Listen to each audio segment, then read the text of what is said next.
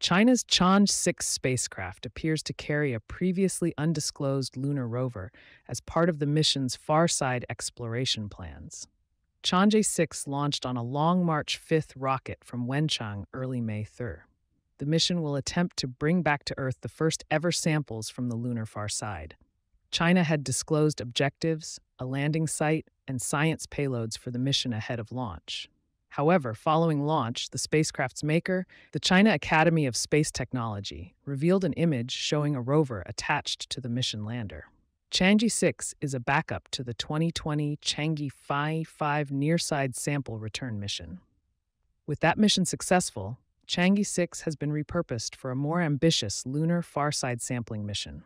A similar process saw the backup Chang'e 4 mission land in Von Karman crater on the lunar far side following the success of the Chang'e 3 lander and rover mission.